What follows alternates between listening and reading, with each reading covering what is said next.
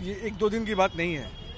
पिछले 18-19 महीने से हम बहुत ज़्यादा अंडर प्रेशर थे।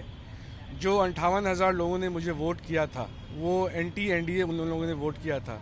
उनका प्रेशर मुझ पर बहुत ज़्यादा था।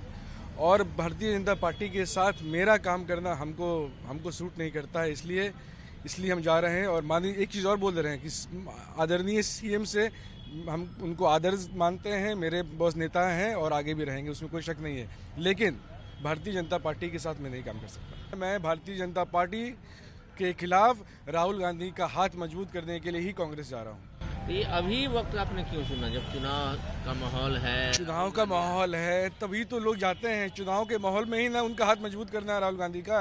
कांग्रेस ही रहे हैं हम लोग।